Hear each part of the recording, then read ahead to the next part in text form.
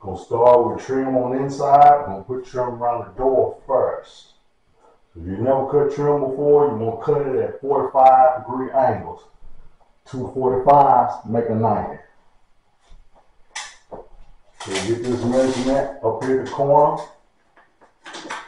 And then the length down to the, to the floor. Um, I'm looking about six feet. Yeah, I know you heard me say six feet. That's because I had to make this door work. Normally, average door is eight inches tall. Come out here to my miter saw. Start at zero. I'm gonna come 45. I'm gonna turn it to the left. I'm gonna cut this corner off so I don't waste no material.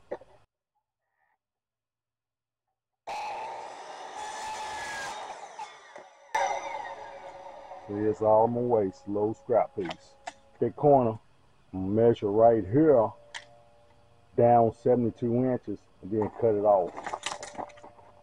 I measured off right here, 72 inches.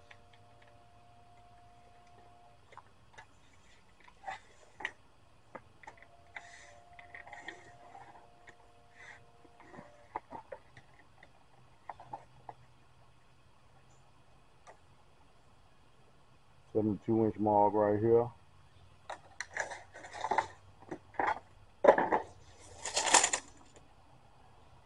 My saw back to zero. Cut it straight across.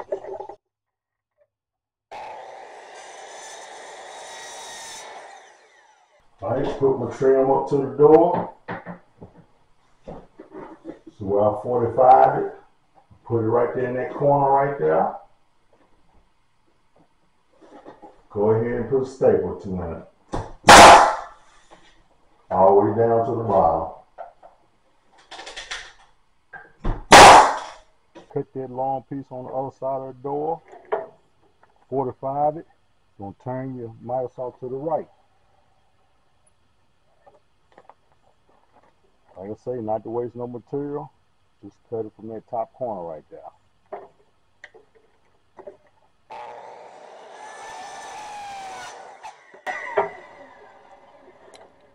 Then get your measurement from here down and cut it off.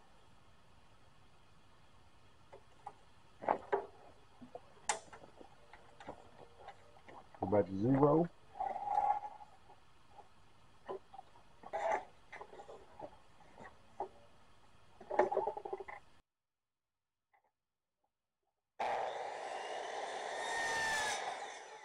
Anybody see it? yeah, I know I don't have my safety glasses on. I have a bad habit of not putting my glasses on all the time. My wife get on me all the time for that. Anyways, put this trim on that outside of the door. Gonna put that right there with the corner of your door. Put that up in there. Now what you might have to do or need to do right here at your hinges. Might want to mark them and notch them out a little bit. Probably about a quarter of an inch so you can get close to the close to the door right here. Then you see where I notched it out. Go around that um, hinge. Then it'll get all the way flush with that piece right here. Right hit your door. Do is line it up. That corner with that corner right there pretty much put some staples it.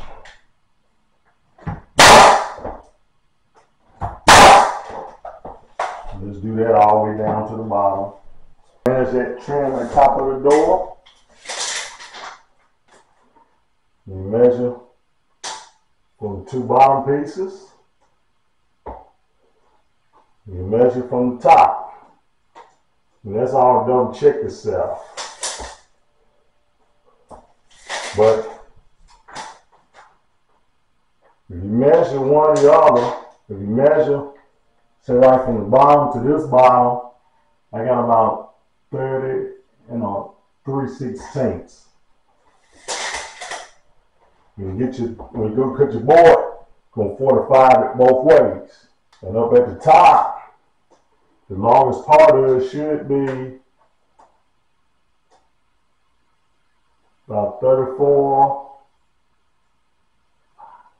5 eighths, about 34 and 5 eighths. On that first cut, not to waste no material, put that edge off. We already know it's got to cut both ways. We're going to turn the saw this way to the 45. Cut that corner off.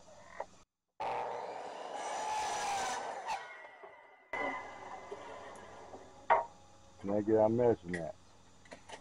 At the top was 34, 5 8. At the bottom was, uh, I think, 30 and a quarter.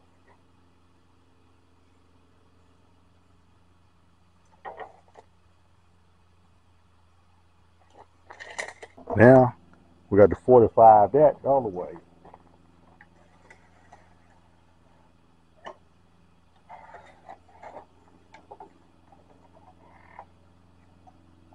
If I'm right, when I cut it, it should hit on both measurements at top and bottom.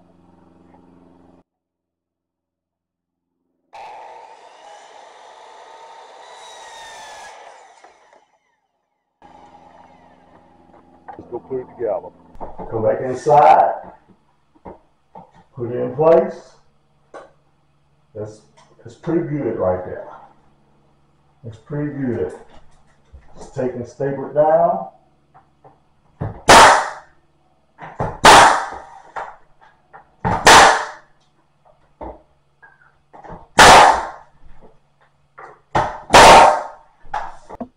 Got the trim door.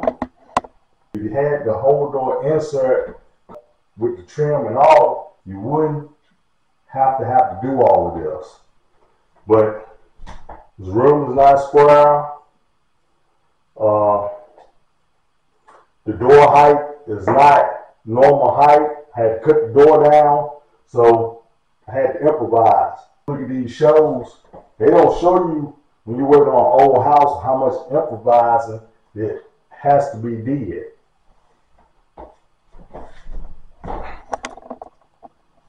So once you put your trim up, go back with some DAP, some caulking some DAP, and go in and all your seams around your where your staple nails at, fill them in with some DAP or some caulking.